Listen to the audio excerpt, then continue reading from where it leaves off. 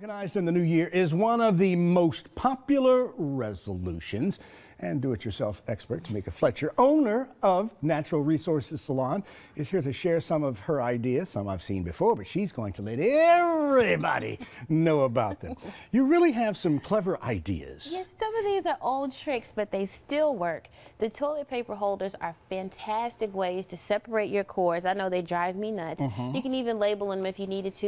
I've just used some simple decorative tape and a little gift wrap if you have something that like gift wrap that's left over, you're trying to figure out what to do with it, this is a great way. Use it to decorate the toilet paper holders. Makes really great ways to separate the cords. You gave me a really wonderful idea because I just used the uh, the holder itself for the cord. But you're making it sort of pretty now. And you can even add Velcro if you have different size cords if you want to close it and open it to fit, you know, a larger set of cords. It works great. Amazing, amazing. Okay, so what do we have here? This is a simple shoebox, but what makes this unique is I've covered the lid and the top, of the lid and the bottom in gift wrap, but I used a piece of cardboard to add a small partition in the middle. It's also covered with gift wrap. It gives me a great way to separate my makeup brushes, my actual makeup, and just anything that you need to separate. You can even make smaller uh, partitions if you need to, but what an easy thing to do. Couldn't be easier to make, and I'm sure you have a shoebox and cardboard at home already. Oh, you know it too.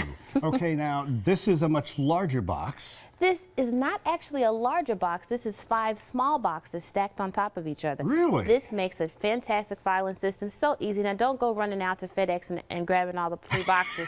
I would say save the boxes that you have coming in the mail, some boxes that you had left over from Christmas. I use hot glue. Now, you could use lots of wrapping tape to wrap it together, uh -huh. or uh-huh. you can just stick them together with hot glue. I cut the flaps off the front with scissors, and now this box is ready for filing. It really does look nice. Okay, I see some um, some shower hooks, well, hooks yes, here, yes. and also some what do you call those handles? It is the, two different things. One of the things that drives me crazy is my scarves and belts. I can never figure out a great way to organize them. This is actually the system that I use in my own home. I have galvanized steel. This is like a plumbing pipe, and mm -hmm. I mm-hmm. just use uh, the elbow pieces to attach it to the wall. If you can kind of see there, um, that that's what you would use to attach the system to the wall. But just shower hooks. You can use shower hooks to hang your scarves, to hang your belts.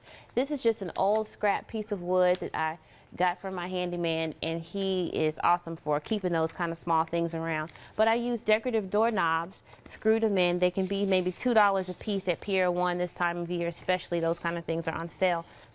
I used some bracelets that I had in my jewelry box to use the ring to hang on the actual knob to hang the scarves on. Again, all super basic ideas and almost free. And it makes it easy for you to, to see what you need on any yes. given day. Yes. Well, Tamika Fletcher, thank you so very much, and thank you for bringing in the hat. Happy New Year. Happy New Year.